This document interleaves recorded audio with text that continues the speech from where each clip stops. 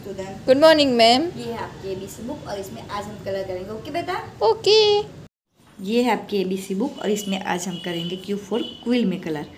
हम उसमें grey colour करेंगे। आपके पास ग्रे कलर हो तो आप ग्रे कलर कर सकते हो। नहीं हो तो आप पेंसिल से ऐसे कर सकते हो। ओके बेटा? ओके मैम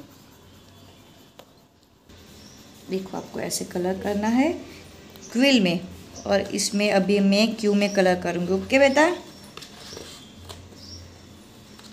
मैं, क्यू में पिंक कलर करूँगी, ओके? ये देखो आपको क्यू में कलर हो गया। आपको ऐसे ही वीडियो लेके मैम को शेयर करना है। Q for quill Q for quill